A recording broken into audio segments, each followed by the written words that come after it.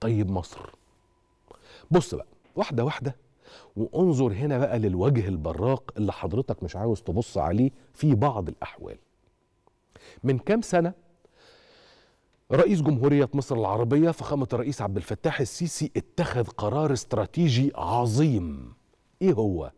قال اولا إحنا هنوسع المساحات المزروعة بالقمح. اتنين إحنا هنعمل صوامع لتخزين القمح والحبوب.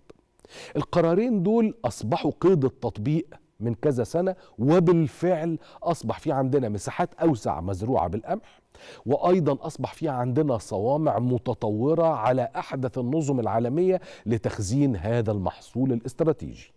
في الوقت ده كان في بعض الدول بطبيعة الحال تنظيم الإخوان المسلمين بيسخروا من مسألة هو أنتوا بتزرعوا قمح علشان الإيه عشان يحصل إيه؟ لا لا لا لا أنتوا بتضحكوا علينا أنتوا ما بتزرعوش قمح. طب ده إحنا عم... ده إحنا بنزرع وعندنا صوامع. لا لا لا أنتوا ما بتعملوش صوامع. لما تيجي تبص على الوضع الحالي هتفهم كويس جدا نظرة بعيدة المدى. أنا مش بقول لك إنه الرئيس المصري كان يعلم بإنه كان هيحصل حاجة ما بين موسكو وما بين كييف. لا إطلاقا. لكن الرئيس المصري كان باصص على مصلحة المواطن المصري.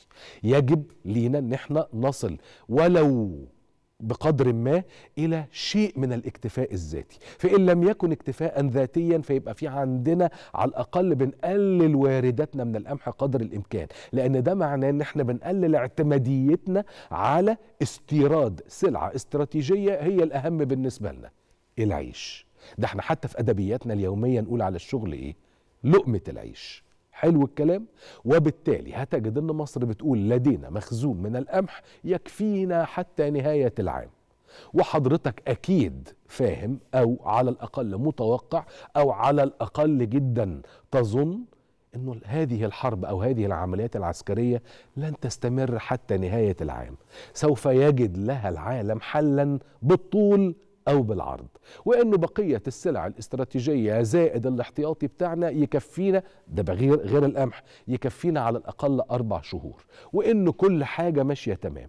السؤال هو فهمت ليه مصر كانت قاعدة بتزرع ملايين الأفدنة سواء إذا كان في الفرافرة أو بتشتغل على مشروع الدلتا الجديدة والضبعه أو الزراعة اللي بتحصل في سينا أو مشروع تشكى أو صوامع القمح الكتير اللي اتفتحت في مشارق البلاد ومغاربها وشمالها وجنوبها؟ مش تحسبا لهذا اليوم لكن تحسبا لأي شيء.